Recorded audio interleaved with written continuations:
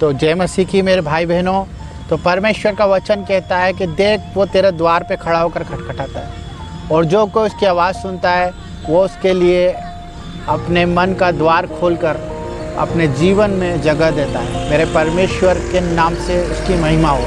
मेरे भाई बहनों अपना दिल का द्वार खोल दें। परमेश्वर आपके लिए वो मंज़र लाने वाला है जो आप देख नहीं सकते। जितनी भी कठिनाइयाँ हैं, तकलीफ़ें हैं परमेश्वर के प्रेम को समझे मेरे भाई बहनों, दुनियावी चीज़ों में ना जाएँ, धन दौलत के पीछे ना जाएँ, और ऐसे प्रेम के पीछे ना जाएँ, जो प्रेम आपको आज है, वो कल नहीं मिलेगा। आप परमेश्वर के उस प्रेम के पीछे जाएँ, जो इस सृष्टि में भी है और वो स्वर्ग में भी है, जो आपको बचाए, रखता है। आज जो आपके साँसें मिल रही है, वो इसलिए नहीं मिल रही है कि आपको वो अपने जीवन में अलग रखें। वो इसलिए दे रहा है क्योंकि आप उसे महसूस करें और उसकी मौजूदगी में ज़िंदगी जिए।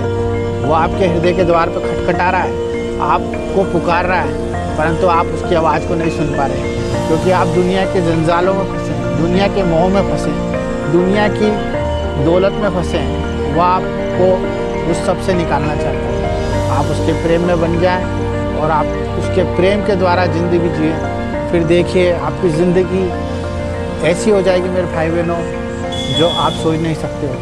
आपको वो स्वर्ग तक रक्षा करने वाला परमेश्वर है। यीशु के नाम में विश्वास करें और इस वचन पर अमल और प्रार्थना करें।